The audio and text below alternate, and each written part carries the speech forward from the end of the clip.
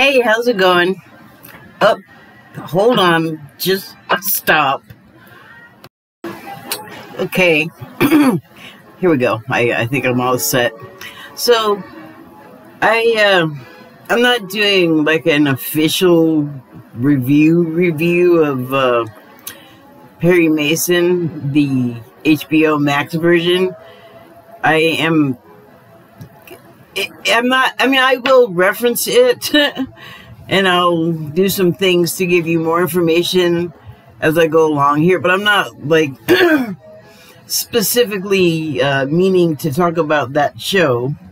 But it is one of those shows that I like to watch that I can just sort of sink into the scenery of it almost. I get so absorbed in it and it's uh, it's because I'm from L.A. Um, and so uh, I don't live there anymore. I haven't lived there in a long time, and I obviously didn't live, excuse me, in the 40s or yeah, when in the 40s when that uh, show is based, uh, the HBO Max of the HBO Max version of Perry Mason that's current. but uh I don't know. For some reason, I'm always so attracted to those to shows and movies featuring that era. Like I love noir. Uh, I prefer it in black and white. You know, like the more hard boiled, the better. You know, uh, and I don't, I don't know why. but the whole place uh, part of it, the the location part of it, has a great deal to do with it. I feel like.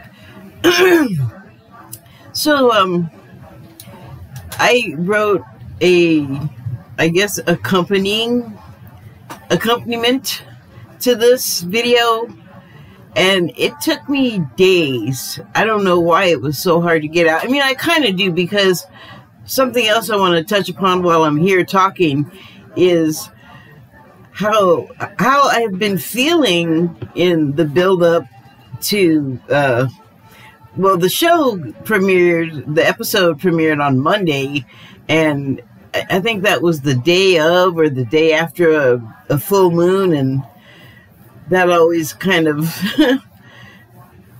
has an effect uh, but right now, like in this now we're living in, with so much going on, uh, it it just was intensified, I guess, by the moon because there's like a before period and an after period. Just, I mean, it's so watery. The whole way it reacts is like you feel little riplets of it before you get to it, and then you get to it, and it's you know, whatever it is, splash, post splash, whatever. And then you get past it and there's more ripples and they're shoving you on your way, but you know, you've gone through this whole process of feeling before, during, and after of it. And I don't know, like, I didn't always feel. I'm sure I was affected by it, but I wasn't specifically noticing it. You know, I, I think I had I had too much going on. Like, you know, I worked full time and I was, you know, in bands and you know we. It wasn't just recreational. We actually played gigs and stuff. So um, that was those things are kind of a lot time consuming, mind consuming, energy consuming. And then there's the drugs and the alcohol and the cigarettes and you got all that crap in your system doing things and you know that's all contending with like the moon moving your like inner water you know like you're part of the ocean. Your water doesn't know any better apparently. It doesn't realize that it's not at the beach i guess. So um but uh, I don't have those distractions anymore. Uh, so uh, I'm more, I guess, susceptible and I'm more open to it. Like, I've I've been kind of thinking to myself that like mostly I'm pretty much wide open, like emotionally and uh I guess vibrationally, just as far as like I'm just letting whatever is coming in from outside within reason. Like it's not like it's not like I can't close it, you know. But I'm just leaving the sensitivity part like open and receptive to like whatever, and it's not always great, you know. like sometimes I've been, and this happened like a lot this week, like more times in this one past, oh, I guess since like Friday, Thursday or Friday. I mean, I've just felt super sketch. That's just the only thing that comes to mind is like, I had to watch what I said and what I did because it was like, watch out, you might get all sketchy. Like, it was, it's weird precaution I was giving myself, but I, it, it's true, I did feel like a little crazy and it, it's hard sometimes not to be uh, provoked when I'm feeling like that, but at the same time, I'm feeling all these ways, like maybe aggressive or like angry or super sensitive, like in the way they're like, oh, it hurts, or like, ah, it hurts, you know, and but me personally, I'm just like, it's so. my personal existence is so low key. like, I have very little to get upset about. but um I did like I said I am I I am susceptible. Excuse me. I was wanting to like uh well here's what happened when I got like affected by I don't know, whatever. But um I was a little crazy. the place on the other side of this wall is another apartment and it's vacant. So they have been working in there and cleaning and fixing and excuse me. Hold on. You fool.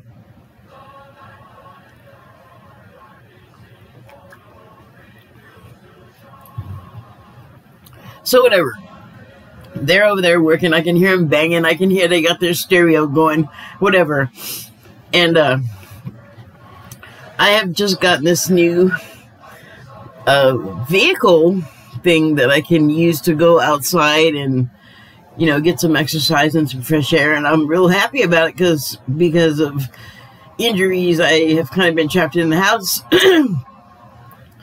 uh, until I got this thing. So I was excited to go out the other morning and I open up my door and there is like probably two and a half feet worth of like doors from inside that apartment, like closet doors and bathroom doors and like the cheapo apartment doors that they put in apartments and those had been pulled out. Like there were a lot. I wonder. I've been in that place. I wouldn't have thought there were that many doors there. But anyway, those were piled up, like right in front of my door. There was probably, if there was a skinny person that could stand upright and walk out of there, out of my door that morning, there would have been room for them to step over the threshold and they would have run immediately into doors. And then to the right, there was a stove and a refrigerator, and it was all pushed up like right in front of my door. And I was like, WTF? and I, you know, I gotta mention here that my apartment is clearly labeled a hand. It's like it's got the blue wheelchair on it. In fact, I'm actually in a wheelchair right now. But um I'm saying you could see it was like a handicap apartment also. And I didn't have the strength to move much of it very much out of the way. so I started to get frustrated. Um, and then I started to get mad because I had the thought, do these idiots think just because that place is vacant, all the other ones are too? Like, no one needs to use the doors? What if there's a fire? And so I just like started stepping it up and stepping it up in my mind, just like winding myself up. And next thing I knew, I'm like cursing and yelling. And then I hear a voice, and I, at this point, I can't even really see like what like my view is blocked like i down on this uh vehicle that i have was too low to be seen so i I they didn't know I was there except for the, the yelling and the cursing and the pushing and the banging and trying to get the stuff out of the way. So they finally, you know, my neighbor came and was like, "Hey, you gotta come move this stuff," and ran down and like move stuff enough out of the way so I could get out. And I, you know, I was like, hey, you, you guys stupid. And then I was like, just please move that before I come back. and then I came back and like after exercise, I'd worked all that angst out of my system and, you know, had to apologize or whatever. And that's fine. I, they absolutely deserved an apology. Um, but, you know, it was like, I felt like it just got away from me so fast. I'm not saying I don't get mad about stuff, but usually it's just like, uh, fizzle, you know, fires up inside, or flares up inside of me, and then whatever, I'll have like an expression or whatever. But mainly, I'm by myself when it happens, so there's like, you know, I'm not yelling at people or anything. and it's not like I mean, I'm normal. I have a temper, but it's not like on the surface, or whatever. So it was just a little bit disconcerting uh, that that happened. So, and then I was having so much trouble meditating. Like I'm still not able to do it very easily. It's like I have to wait till the middle of the night till everybody and everything around, including my cat, is asleep, so nothing can, you know intrude and break my concentration because, man, inside, outside, I just can't get it done for, it is hard. I can get like two or three minutes and then I'm all of a sudden not there and that's disconcerting disconcerting because I've gotten used to it and like I said, it's pretty mellow around here, but I've not been feeling that mellow. I've been feeling all agitated and blah blah blah and I attribute it to, well, I mean, I have some level of like emp- empathy, and then like uh, shootings and uh, the thing with the former president, and those people are angry about that, and you know, then there's God, the people on the news do not help. Like, well, they just stir the pot on the, especially on like the conservative stations, and I know that a lot of the people that watch something like Fox will. I heard along with them when this whole thing started, the buildup to be against like journalism, especially left wing journalism, and.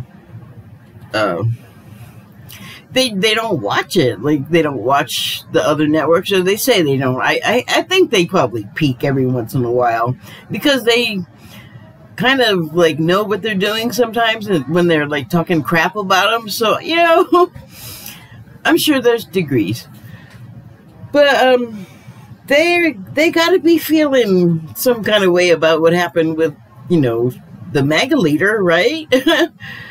and there's just it comes from everywhere. It comes from all around on the other side of the screen here.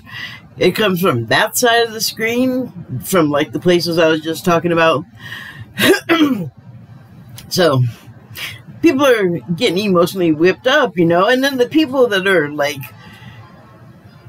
yay, we got him, you know, and popcorn and woo, like I'm not into that either. Like because that feeds the other thing that's happening.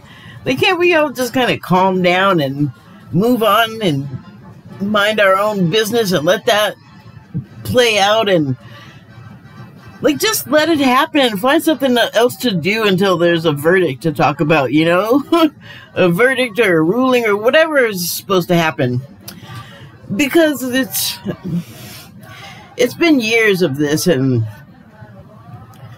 well I, I just don't think it's like great for us i think we should have some other like hobbies and activities to have a different think for a while. Like, I think it just won't hurt.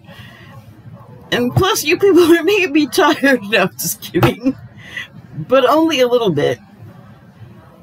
So, yeah. I like to dive into something and get lost. And that Perry Mason, man, it does it for me. there are some other shows on a different network that really uh, did a number on me in the best possible way. Like, such. I have such good things to say about it, but I'm not going to do it here now because it deserves its own whole thing. So, anyway, I just wanted to sort of pop in.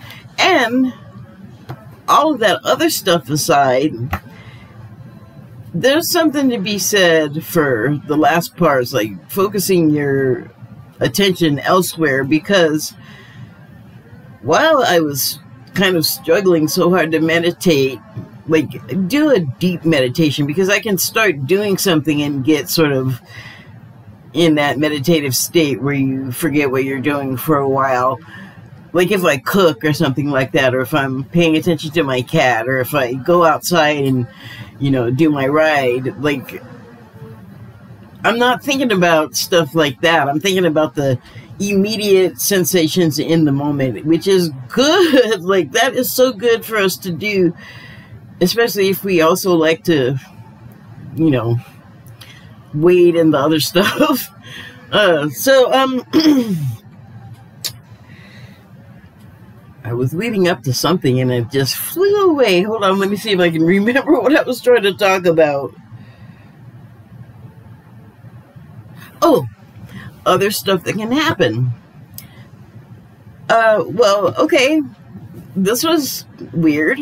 I, I mean, just in that I have no idea what it meant, but I was sitting right here where I, where I am sitting now, and I was actually sort of working on the text uh, part of this Perry Mason getting transported and sent off to another sort of dimension or whatever from the normal thing.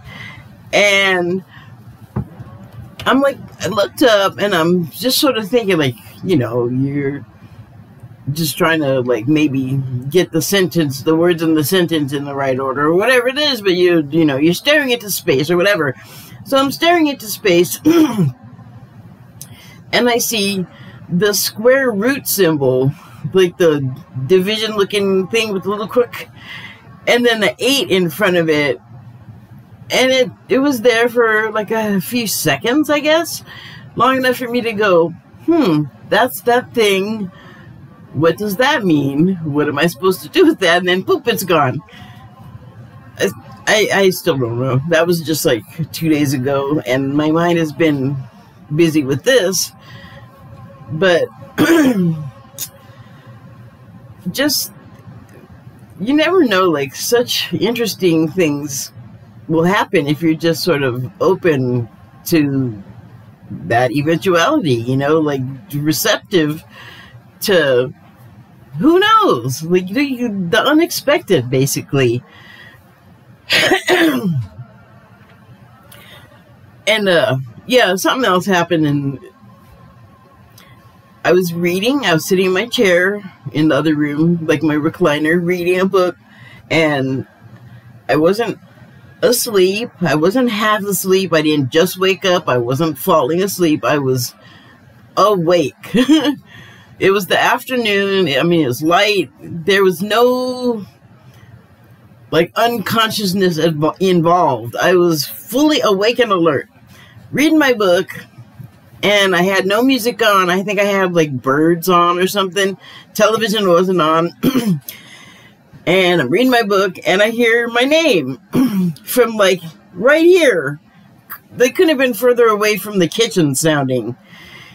And which is about, I don't know, 12, 15 feet from where I was sitting.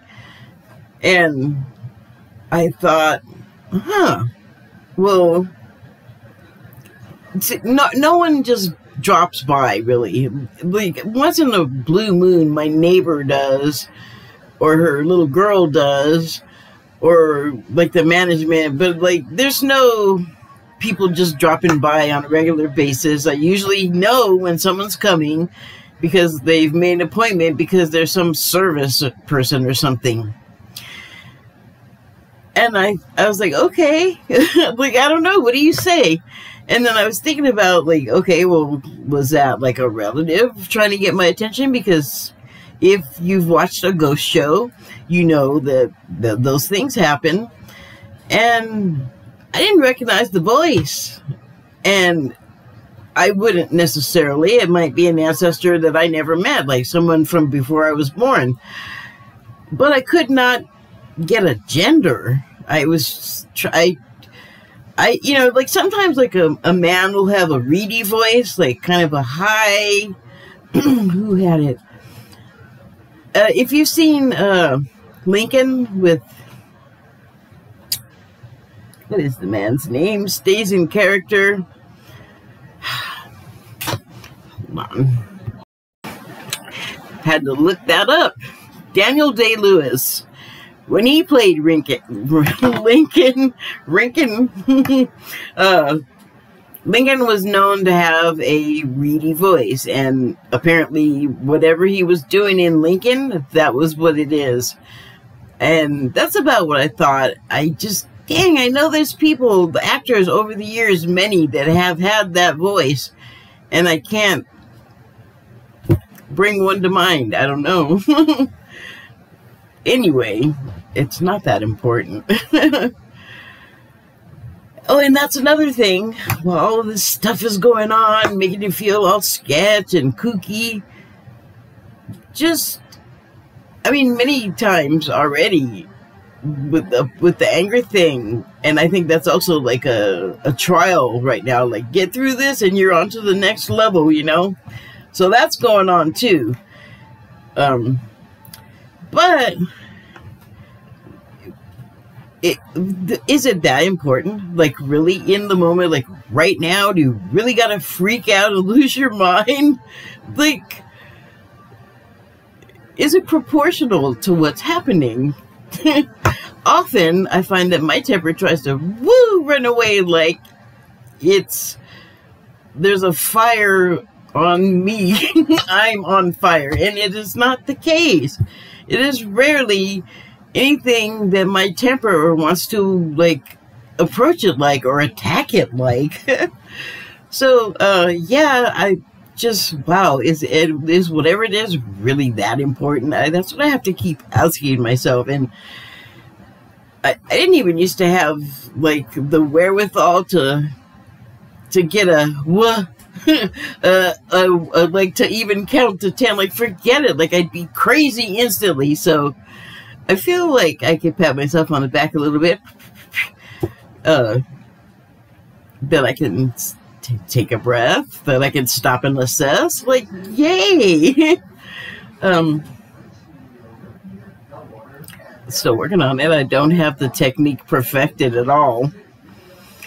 But anyway yeah like just when I'm feeling all nuts and whatever, like I I finally found like the thing that I don't have to drink a bunch of booze or whatever and like drug myself into unconsciousness because I'm so ah I can just like finally stop and go oh my god breathe. Just like even taking a couple of deep breaths seriously makes a dang difference. I'm so happy to have discovered that. And I'm even getting better at remembering to do it. So, I, I mean, I just feel like if it if it works for me, maybe you can find a similar method. Someone else who need maybe needs the same sort of self therapy. but um, I'm I'm gonna be finished here. pretty quick. And I, I will link the text uh, thing that I wrote that's really super long. And that's why I don't have a whole bunch to say because I don't want to repeat stuff. But